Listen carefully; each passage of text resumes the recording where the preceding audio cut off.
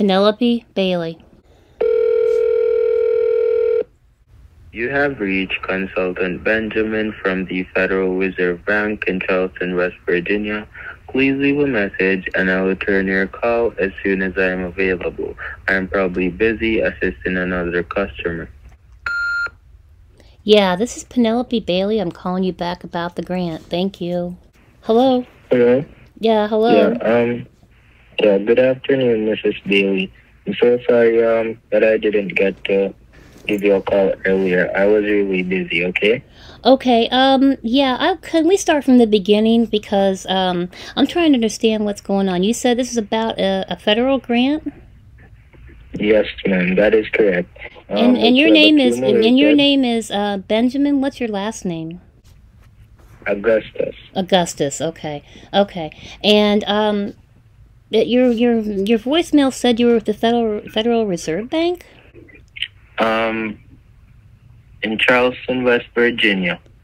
Okay. All right. Um. uh, yeah, I'm trying to uh, figure out what's going on.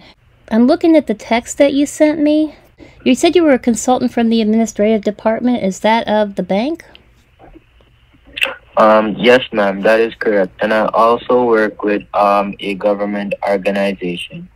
Which one? Um, I also work with the a government organization that's the, um DHHS. DHHS. Okay. All right. You said this is about um, a sixty-seven hundred dollar federal grant. Yes, ma'am, six thousand seven hundred. Um, it was sent here at the Federal Reserve Bank in the form of a federal um of a cashier's check. I'm sorry. Yeah, it was sent here in the form of a cashier's check. Why didn't the government? processed. Okay. Why didn't the government contact me about this? I'm I'm I'm confused. I'm not quite sure. Um, did you receive a bright blue envelope in your mail? Well, I did get something from Social Security because I I, I enabled two-factor authentication. They forced us to do that, and then um, I got a letter from the IRS because um, I had to make payment arrangements with them. But that's that's the only letters I got from the government. So you you did not um, receive a bright blue envelope from the Federal Reserve? A blue envelope? No. Oh, it it was supposed to be mailed out from the 17th of August. Well, if they put it in the regular mail and slapped a stamp on it, God knows where it could be now. They should, if this is important official business, No, they should have, they should have sent it. Um, they should have sent it registered mail, so I had to sign for it or certified mail.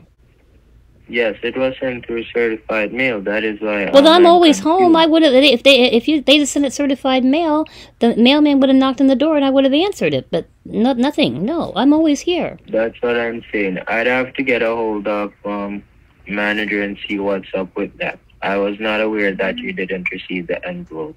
All this right. Well, do you want to do you want my address so you can send the check to me? Yes, ma'am. That is correct. But we have some stuff that was supposed to be processed. What? Pardon? What needs to be processed? Um, it was supposed to be in the in the documents. I'm not quite sure. As I said, I've just been assigned to make sure everything um has been processed and delivered.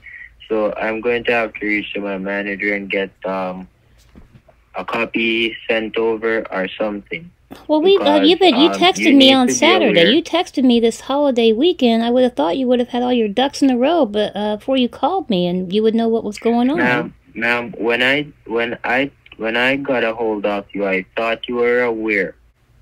I thought you were aware with um with everything because when I said that you have accumulated the grant, you did not ask any you did not um ask any questions or act like Well, that's because we. This is the first time we've talked with in, in any length on the phone. You've been texting me. I've been trying to figure out what's going on, and I did ask questions. I did. Okay, understood. All right. Well- so as I said, um, I'm not in. I'm not responsible for the delay of your documents. I'd have to get a hold of my manager and see what's up with that, so we can have, um, so that you can be aware. All right. Well, please have everything ready, and I'm not sure how when we're going to be able to talk again. I'm packing up a bag. I'm getting ready to leave for a long weekend with friends, and I won't be back until Monday. So, Oh, okay. if you, can you call me back this afternoon? Um, this afternoon. Um, about what time? It's currently two fifty-seven. If you can call me back right away, that would be great because, like I said, I'm packing up a bag. My friends are going to be here um, in a couple hours, and we're going to be leaving. All right, I'm gonna call them now and, and call you back ASAP. And could you Mhm. text me your email address? Yeah, I can do that. All right then. Talk to you in a few. Mm-hmm. Bye. Penelope Bailey. You have reached Consultant Benjamin from the Federal Reserve Bank in Charleston, West Virginia. Please leave a message and I will return your call as soon as I am available. I am probably busy assisting another customer. Yeah, Mr. Um, Augustus, I believe your last name is. You just texted me a message about saying that you've been trying to investigate where the paperwork has ended up, although they can't claim or access anything from it because it was billed to you. I don't understand what you mean. Um, I, I'll try to call you later. Penelope Bailey. Yeah, good afternoon, Miss Bailey. Uh, yeah, is this Mr. Augustus? Yes, ma'am. I'm sorry I missed your call earlier. Um, what I was saying is that, um, so, as I said, I don't remember if you remember when we were speaking last week, and I said, um, I wanted you to receive the paperwork. Right, I never. Okay, I, I gave you my email and you never sent me anything. And then this message that's that you, this text message that you sent me said you were trying to investigate, and something about because it was it was billed to you. What was billed to me? I don't understand. Okay. All right. So there was not supposed to be any errors with um, the delivery of the mail because it was sent through certified mail. So when I reached out to my manager and said, um, I need a copy of Mrs. Bailey's notification and so on, he was saying that what happened to the original one. I said, you didn't receive it.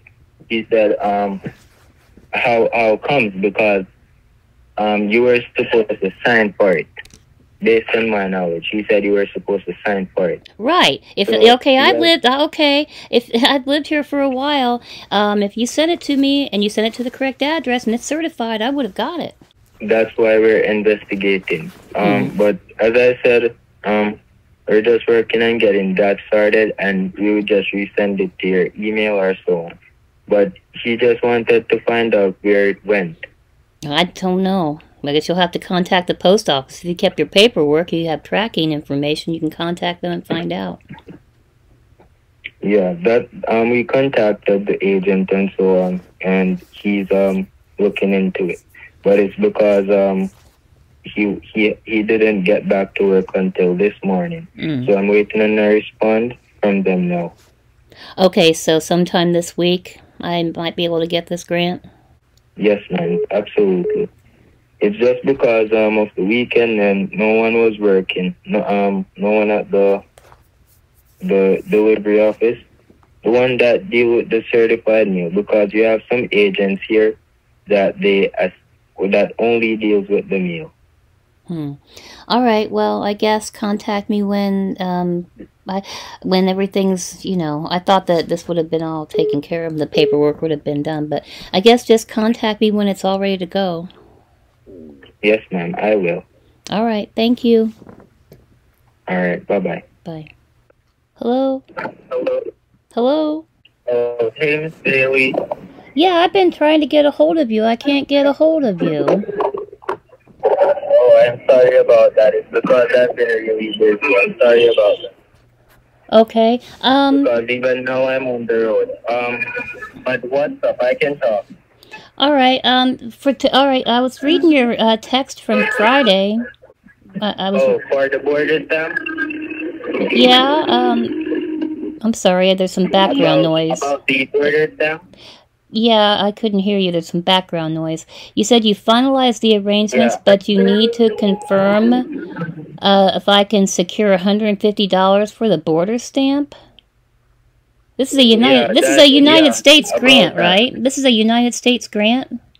Yes, that's correct. And it's not a loan. It's a money grant. All right. If it's a United States grant, why am I paying $150 for a border stamp? I can I can send you the information about the border stamp. But There the should be no border stamp, okay? This is this is a. I'm sorry. This is a United States grant. There should be no border stamp. It's not coming out of. I know you have done business in your past, and you know that the government requires taxes, right? No, actually, I got a Pell Grant when I was in college. They didn't require any taxes. You applied for it at that time, ma'am. So I know people that have gotten United States grants and they didn't have to go through all this, and they sure didn't have to pay a border stamp. A border stamp is something that's imported. A United States grant is not imported.